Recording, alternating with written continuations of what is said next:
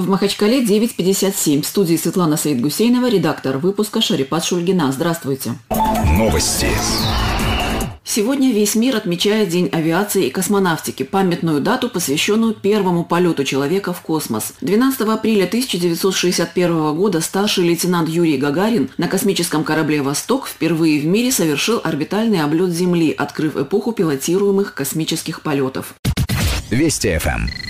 Сегодня на территории планетария ДГУ «Молодежка ОНФ» проводит всероссийскую акцию «Космос наш», приуроченную ко Всемирному дню авиации и космонавтики. Формат акции предполагает уборку территории планетария с привлечением молодых людей.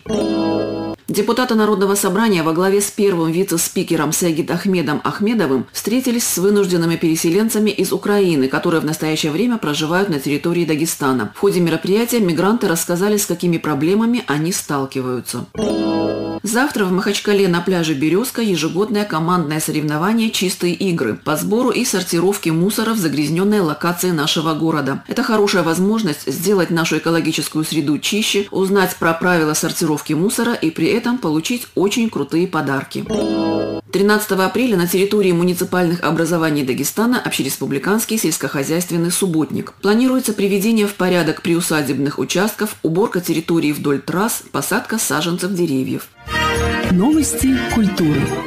На седьмом ежегодном съезде Союзов национальных профессиональных творческих коллективов России, проходившем в Ставрополье, Джамбулат Магомедов в очередной раз избран президентом Союза. На съезде также были обсуждены концепции нового законопроекта о культуре.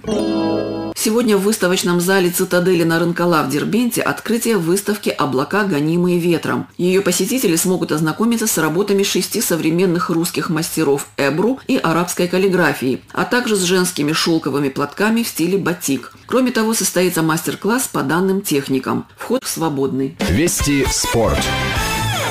14 апреля в Санкт-Петербурге Анжи и «Зенит» сыграют между собой матч 23-го тура российской премьер-лиги. Напомним, «Зенит» лидирует в чемпионате, а Анжи занимает предпоследнее 15 место. Погода.